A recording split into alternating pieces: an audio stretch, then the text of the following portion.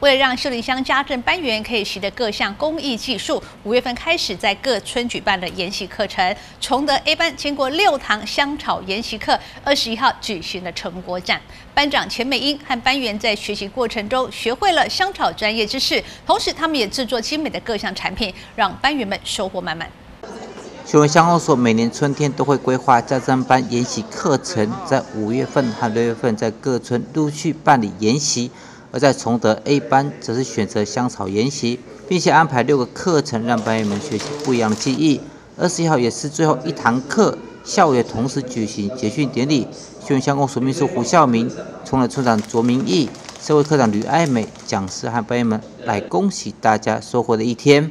加上这样的一个这种那么好的一个活动哦，也也是相当这个更实用哦，这个不是拿来看而已，这个就可以带回家里，来做呃更实际的效果了哈。那在这里，我想说，我在这里谢谢乡长啊。班员们表示，相当感谢秀云乡长王玫贵的支持。今年度增加崇德 A 班，让学员们可以学习到来自天然的香草。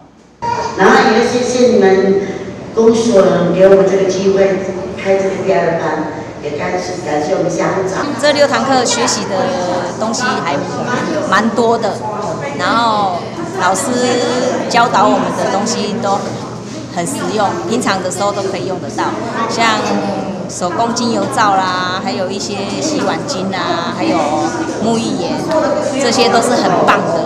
然后希望下次有机会可以再请雅丽老师来教导我们做一些更进阶的东西。学没有学过的东西哈，很新鲜，让很很感觉感觉很好。那是不是要公司要不要再办？啊，希望公司还会再办吗？嗯，好想再办。呃，希望还有机会。我们很希望再来办一次，呃，年底年底嘛哈，年底再想办办一次，这个成果真的很棒，哎、谢谢。有比较喜欢这东西吗？老师，对。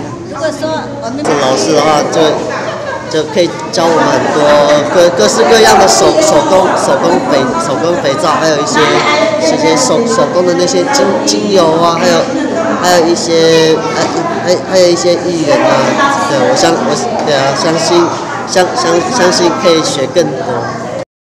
崇德 A 班的班员们是第一次开办香草云溪课程，桌上满满的 DIY 香草成品，可以说是班员们自己的成果。最晚开班的家政班也是第一个决心的家政班。这一次的课程，大家可以说是收获满满。记得中医学院报道。